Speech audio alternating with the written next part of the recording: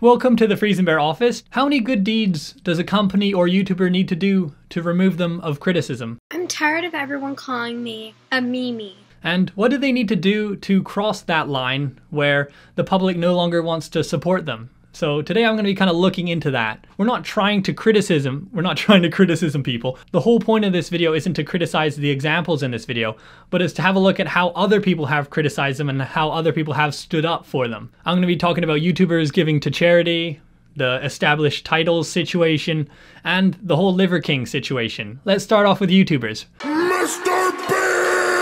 Right now, it's very popular for YouTubers to donate to charity, an act that is really great and kind. How much does donating to charity impact a YouTuber's reputation? I'm not saying all YouTubers that donate to charity are cynical or anything or disingenuous, but how far can that charitable image be pushed? you know, like when do they cross the line? I think a good example of this is the video I spend 100 hours in the world's poorest country, because while this video did receive quite a lot of criticism, there's a large group of people who support this video too, as seen by the like to dislike ratio. There's 47,000 people liked this video and 71,000 people disliked the video. People criticize this video because it seemed like he was being disrespectful to the people who lived in that country. He wanted to get into the orphanage and film the poorest kids in the poorest country, which kind of came across that he's just trying to use them as content. I wanted to see the poorest people in the poorest country. So we went to the orphanage. Phidias really wants to go to the orphanage, but they're not letting him. He was pointing at people in fields as if they're kind of animals at the zoo. She's working here in the rain with this thing on here. They have their babies on their back and they're working. So a lot of people, including myself, thought that was a bit weird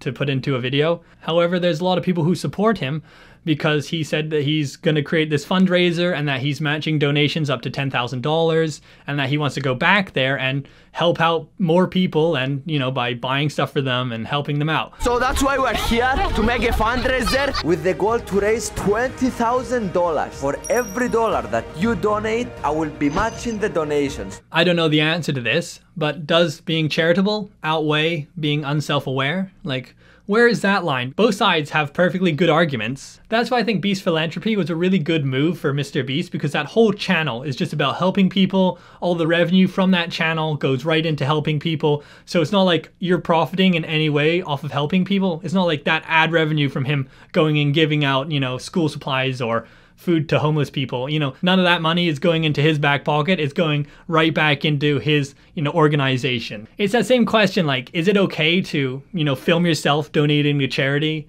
Because you know you're going to get a lot of views from that video because, you know, people like to watch those kind of videos. So is it okay to make videos where you're donating to charity, but you're also profiting from it? You know, I don't really know the answer to that. If you have any answers or any thoughts on this, comment it down below. I'm really interested in hearing. Let's now move on to the Liver King situation because I think this one's quite interesting. If you don't know about the Liver King, he's basically a guy who decided he wanted to live like the primal ancestral living style and eat only raw meat and advertised it as a really good way to become healthy and super, you know, strong and have lots of muscles and all that. You guys can see, see that we sleep on the ground.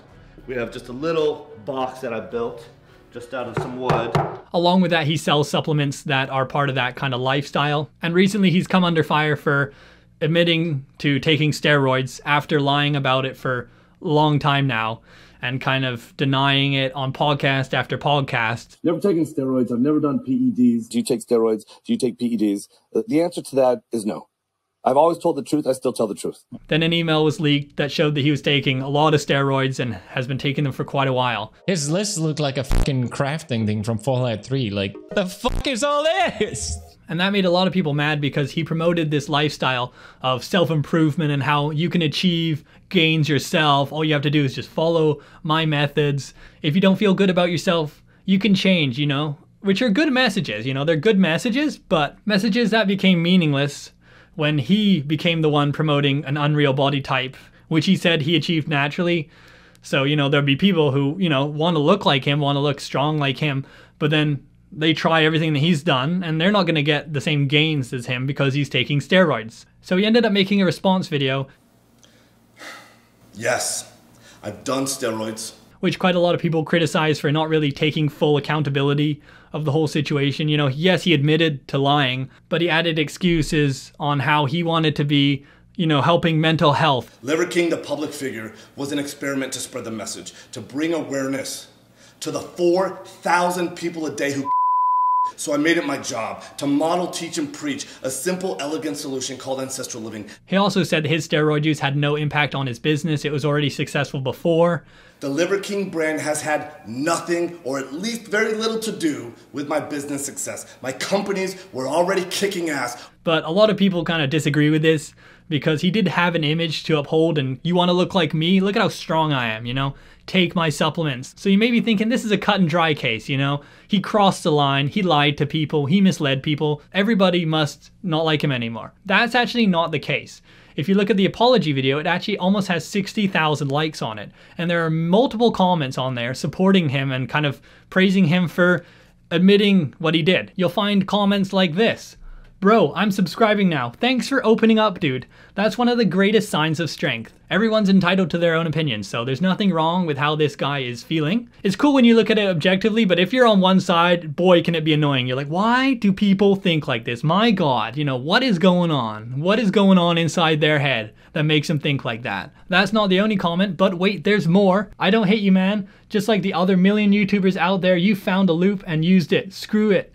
It's life. Seizing opportunities, your message was always genuine. So this guy sees the whole situation as a positive. The Liver King can reveal the truth and then move on. To the people taking the piss, I support Liver King. I understand what he's saying and think he has made a difference and has helped many people. So this guy is wanting people to remember the positive messages spread by the Liver King. Like, you know, you can improve yourself. So he's wanting people to kind of hold on to those messages and that the other stuff that's come out, that's okay. Just ignore it and keep on focusing on your own battles. So we got a bunch of different opinions here, you know, which is kind of who would have thought, you know, we're looking at YouTube comments. That's funny. We found different opinions. Wow, you know, nothing new there. If you are enjoying this video, make sure to give it a like. It really helps out how this video does. Now let's look at the established title situation. When you buy land in Scotland, you are legally referred to as a lord or lady.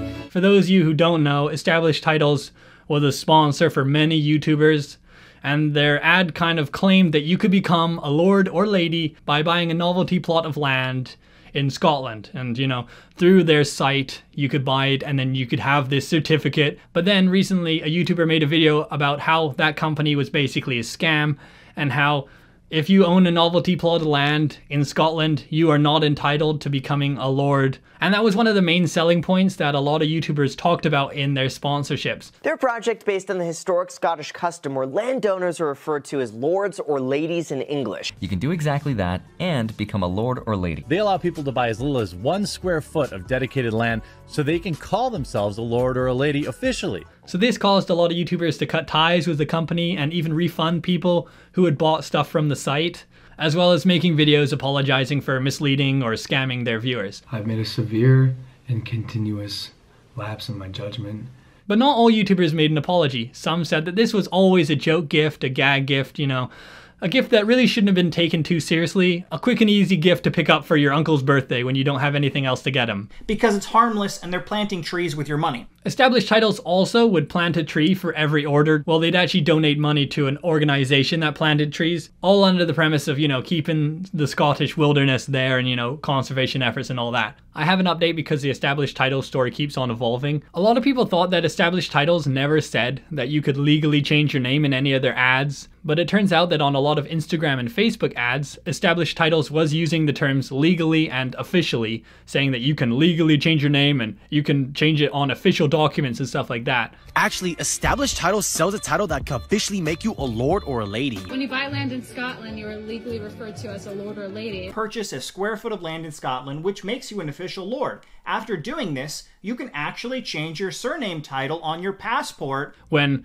it turns out that that actually wasn't the case. So they were quite misleading in their marketing. So is that kind of misleading marketing okay if you're doing charity work and you're helping plant trees? Does that excuse the misleading marketing?